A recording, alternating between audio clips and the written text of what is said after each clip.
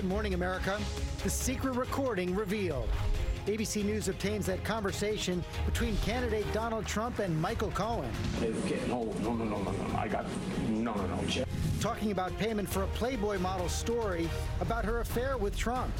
Now, Michael Cohen's lawyer is here live only on GMA this morning. Triple threat fires, dangerous heat, and flooding hitting the coasts. Water rescues in North Carolina overnight, a sinkhole swallowing this car. And out west, Yosemite shut down as fast spreading wildfires close in.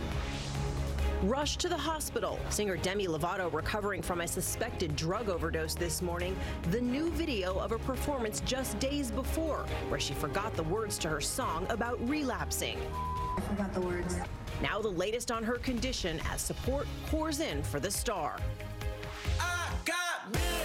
Breaking overnight, who's the lucky winner? Just one ticket taking home that giant $522 million jackpot. And more than 3 million others waking up winners. Are you one of the luckiest people in America this morning? Live in Times Square, this is GMA with Robin Roberts, George Stephanopoulos, and Michael Strahan. Someone doesn't have to worry about those bills this morning, winning that big jackpot. Good morning, America. Great to have you with us on this Wednesday morning. And as we said, there are more than one lucky winners this morning. Unfortunately, it doesn't appear to be any of us. No, because here we are. But let's show you. Take a look at the screen. Go dust off that ticket that maybe you have hiding under a mattress or in a box somewhere at home. Those are the winning numbers of that massive Mega Millions jackpot. We will tell you where the ticket was sold and how maybe uh, you might be one of the more than 3 million other winners coming up. If you are, you probably know. You probably We know do. by now, yeah. We're going to begin with that mm-hmm. explosive tape, that explosive recording of Donald Trump speaking with his attorney Michael Cohen about buying the rights to the story of a Playboy model who claimed to have had an affair with Trump. This all happened just weeks before the 2016 election. And Cohen's attorney is standing by to talk live to George in just a moment. But first, our Chief Justice Correspondent Pierre Thomas starts us off. Good morning, Pierre. Robin, good morning. A war of words between Donald Trump and his former attorney is heating up with the release of the taped conversation between the two that we're hearing for the very first time. Great poll, by the way. Seen it. Great poll. Making progress. Big time. You're hearing something highly unusual a private conversation between an attorney and his client. In this case, then candidate Donald Trump, in September of 2016, speaking with the fixer, his personal attorney Michael Cohen, who is secretly recording the conversation. Donald Trump, apparently completely unaware he's being taped, asking for refreshments. Give me your coat, please. They don't have a legitimate purpose. So And now a critical part of the tape that's in dispute. Cohen's purchase of a story from former Playboy model Karen McDougal, who claims she had an affair with Trump. I need to open up a company for the transfer of all of that info regarding our friend David. David, according to sources, is apparently Trump's friend David Pecker, CEO of America Media Incorporated, which owns the National Enquirer. American Media paid $150,000 for McDougal's story, but killed it before the election. Cohen and Trump then discussed setting up a shell company to buy the rights to the Enquirer's McDougal story and perhaps others. I Give it to me. When it comes time for the financing, which will be, Listen, what financing? we'll have to pay you. So Don't pay with cash. no, no, no, no, no, no. I got no, no, no. Cohen's attorney suggests that Trump's mentioning of cash is indicative of someone planning to engage in illegal activity. But Trump attorney Rudy Giuliani suggesting last night that Trump was doing everything by the book, that there's nothing illegal about the conversation, that he wanted any transaction to be handled by check, which can be documented. Giuliani also calling into Fox News. We listened to it numerous, numerous times, and the transcript makes it quite clear at the end that President Trump says, quote, don't pay with cash. The emerging feud between Trump's legal team and Michael Cohen, who used to be part of Trump's innermost circle, is now fully engaged. For the record, Giuliani says Trump never paid any money to buy and control the Playmates, Playmate story. George? Pierre Thomas, thank you. We're joined now by Michael Cohen's attorney, Lanny Davis. Welcome, Lanny. Good to see you again. Uh, you've been working for Michael Cohen for weeks, haven't spoken out on television. Why release the tape now? Why come here? After a year and a half and recently an intense campaign of disparagement and lies and smears against Michael Cohen from the Trump camp, primarily by Mayor Giuliani, inventing words in a transcript that didn't ever get spoken, as you just heard. The word is cash. Everybody should listen to the tape and see whether I'm right or not. Just listen. I, I do want to get to that, but how do you respond to Mr. Giuliani's claim that it's outrageous that, that a lawyer was taping his client? Well, it changes the topic. Why did Giuliani lie about Michael Cohen, saying that he's the one who said cash, just as he lied when he said that Donald Trump, in fact, didn't say. It may be changing the topic, but what, what's the answer? Why was Uh, he well, taped? uh, M- M- Michael Cohen has an answer to why he taped conversations, and I think he'll have to give that answer himself. I can't reveal that, but I will say that Michael Cohen has turned a corner in his life, and he's now dedicated to telling the truth to everyone, and we'll see what happens. Let, us get into some of the specifics right there. You say he said cash. That's that seemed to be what I heard as well, but it is it is a little bit garbled. Rudy Giuliani says that he was saying don't pay cash. What if it was cash? What's the significance there? It's about lies and truth. Giuliani can't make up the words don't pay. I say to everybody who voted for Donald Trump, don't believe me, I'm a Democrat. Listen to the tape. The words don't pay are not heard. The word cash. So it's not about cash versus not cash. It's about truth.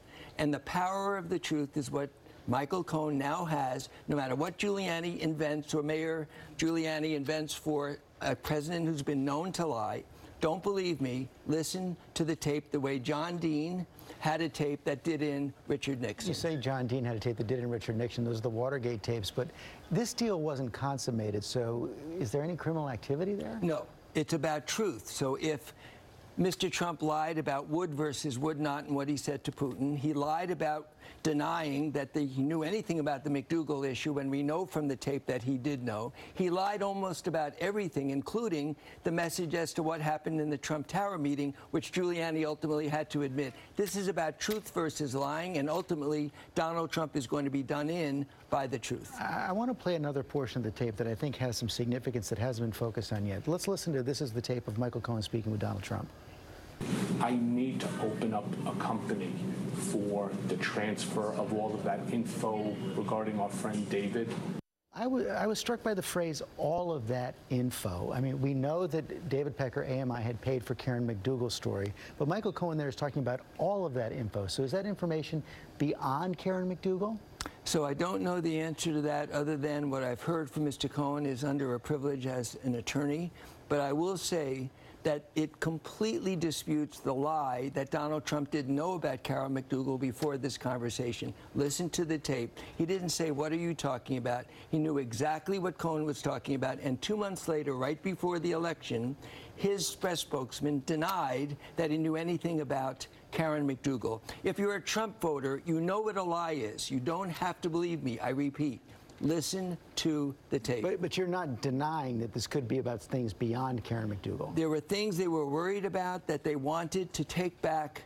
And that was what the conversation was about. You heard Mr. Trump say, yes, we don't know what will happen to this other information, but we know that Trump used the word cash, and people who use cash, Rudy Giuliani knows when he's U.S. attorney, are either drug dealers or mobsters. Michael, and that's the word cash. Michael Avenatti has also spoken out. Stormy Daniels' attorney want to put up his tweet. Mr. Davis is a good lawyer, but his client, Mr. Cohen, is not innocent, nor is he a victim. Co-conspirator, dishonest thug, continues to refuse to come clean. They are playing you and aiming for a pardon. Where is the rest of the evidence and tapes? Two key things there. Is Mr. Cohen still seeking a pardon from Donald Trump? No. And Mr. Avenatti's in litigation. People in litigation say things about one another, then they settle and everything is fine. So I won't comment on Mr. Avenatti. Thank you for saying something nice about me. But what he's saying about Mr. Cohen is not true, but it's part of a litigation attack, and that happens between lawyers. And there are more tapes of Donald Trump? Uh, there are certainly more tapes that Mr. Cohen has discussed that he normally did in order to take notes. He used his telephone. Beyond that, I'm not uh, going to comment. Lanny Davis, thanks very much. Thank you. Cecilia? Okay, George, thanks. We want to turn to President Trump this morning, also facing major fallout from his tariffs. His administration now announcing a $12 billion bailout for farmers caught in the middle, but the backlash fierce, including from Republicans. ABC's Terry Moran is at the White House with the very latest on this. On Terry, even the president's allies say it seems that in this trade war, it might only be getting worse. That's right. Uh, the president says be patient. Good morning, Cecilia. Free trade used to be a bedrock principle for Republicans, but Donald Trump has been a protectionist for decades. Now he's president. He's getting to put his protectionist tariffs in place and getting stiff blowback, especially from American farmers. A showdown over trade at the White House today as the president sits down to negotiate with the European Union. Making tremendous progress. They're all coming. They don't want to have those tariffs put on them. They're all coming to see us. And all this comes as the president tweets tariffs are the greatest. But not so great for American farmers who've been caught in between the warring sides, hit with retaliatory tariffs from trading partners like Europe and China. The penalties on soybeans, dairy, and pork are costing farmers billions. We are directly the people that's being most affected. It, it is out of our pockets that these millions and millions of dollars will flow. President Trump is now trying to blunt this self inflicted wound, authorizing a $12 billion emergency aid package to bail out the nation's farmers. The payouts beginning in September, just before the midterm elections. But some members of the president's own party have immediately rejected the president's bailout. Here are farmers uh, who just want to make a living. They're in our office. They want trade, not aid. Senator Ben Sasse from Nebraska, a farm state, tweeted This trade war is cutting the legs out from under farmers, and White House's plan is to spend $12 billion on gold crutches. But the president insists his policies are going to benefit farmers, especially in key states that help deliver him to the White House. The farmers will be the biggest beneficiary. Watch. We're opening up markets. You watch what's going to happen. Just be a little patient. So today, when the president meets with the head of the European Union, the subject will be the next trade war over imported automobiles. The consumer could be in the crossfire in this one. The National Automobile Dealers Association predicting that the cost of a domestic car could go up almost $3,000, an imported car almost $7,000. Robin? All right, Terry, thank you. Now to that severe summer weather, take a look at the map. This morning, 20% of the country is facing either excessive heat or dangerous flooding as temperatures soar into the triple digits out west, torrential rain here in the east. ABC's David Curley has the latest. This morning, it is the triple threat flooding, fires, and heat. The roads continuing to buckle from the pummeling rain. In Colorado, the moment is caught as a car falls into a sinkhole, crashing 15 feet onto a drain pipe and new images of the mudslides there, triggered by two inches of rainfall in just 20 minutes. And here in the Baltimore area, floodwaters continue to tear through the streets. It's the wettest July in Baltimore's history, and with another inch or two coming, there's a worry about the strain it's putting on these flood channels. Two adults and a student had to be rescued by firefighters after becoming stranded on this school bus by the floodwaters. In North Carolina, Five people rescued after the floodwaters there surrounded their workplace. And in the west, it is the heat and fires. Yosemite National Park closing down during peak tourist season because of the fast spreading fires. More than 3,000 structures in jeopardy. Strictly for visitor safety, we have to close the roads. Evacuees are being told get out while they still can. Now, this is the scene of one of those water rescues, this minivan overnight Thought it could get through the deep waters. It didn't make it. Tow truck has just arrived to get it out of here. The road's just been reopened. But look behind me. You can see how much water is here. Nearly 14 inches in parts of Maryland, George. It's raining right now, another day of rain on the forecast, which is why the flood watches remain in effect. Just a soaking. Okay, David, thanks very much. We're going to move on now to the latest on the deadly Trader Joe's standoff. Newly released footage shows the high-speed chase and gun battle that ended with a store employee dead. Police now say she was killed in the crossfire by a police bullet. ABC's Kayna Whitworth has the story. This morning, just released police video showing the dramatic chase leading to that deadly confrontation at a Los Angeles Trader Joe's. The suspect, Gene Atkins, seen allegedly shooting at these officers through the back window of his vehicle.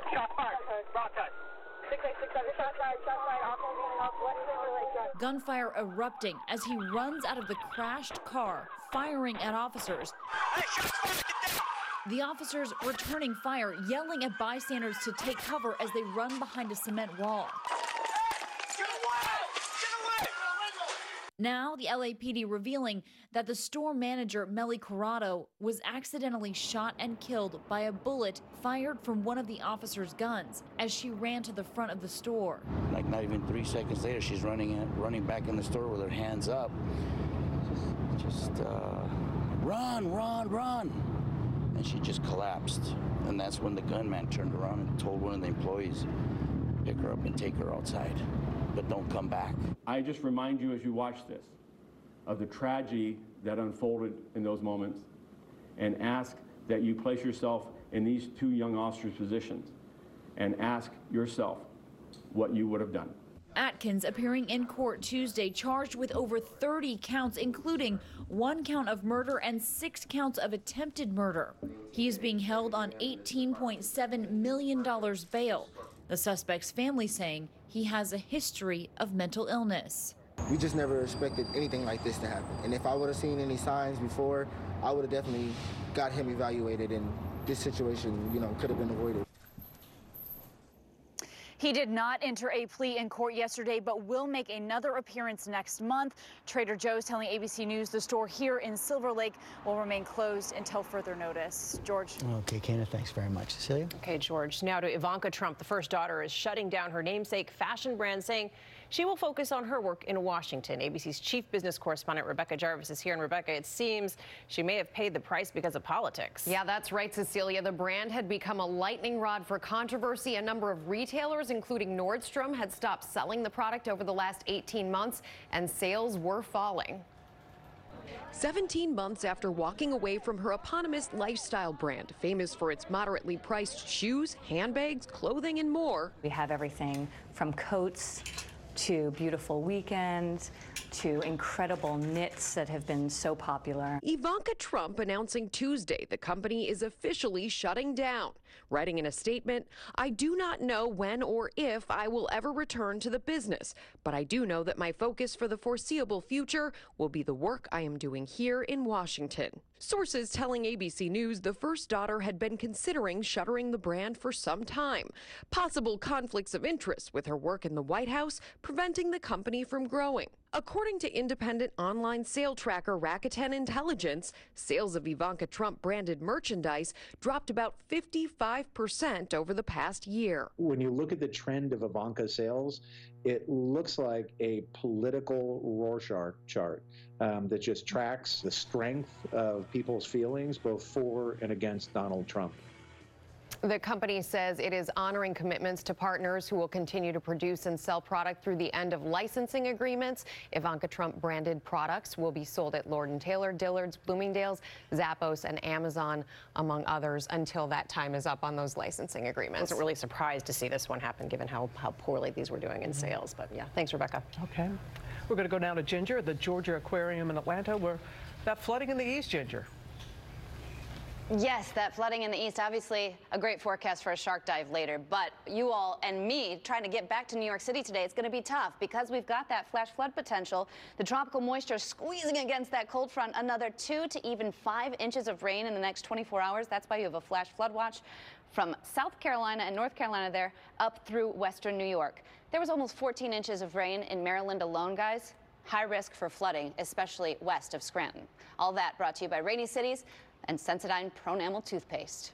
We all want white teeth. You know, doc, how can I get whiter, brighter teeth? And the dentist really has to say, let's take a step back and talk about protecting your enamel. It's important to look after your enamel because it's the foundation for white teeth. I believe dentists will recommend Pronamel Strong and Bright because it's twofold. It strengthens your enamel, but then also it polishes away stains for whiter teeth. So it's really something that's a win-win for both the patient and the dentist. Today is day five of the rain train. Very humid, very tropical. 82. We could have some flooding rains, especially this afternoon and this evening. Our pattern changes tonight down to 72. Cloudy. Tomorrow, more sunshine and mostly dry. 88. Still high humidity. Only a stray storm Friday and only isolated storm chances heading into the weekend. It will be pretty hot and humid. More likely chances for showers and storms heading into early next week. Don't leave home, guys, without the umbrella. Coming up here on GMA, we'll have the latest on Demi Lovato, the superstar singer hospitalized after a suspected drug overdose, now surrounded by her family. Her condition this morning as messages of support pour in from all around the world. New Starbucks Plus coffee is the coffee you love. Plus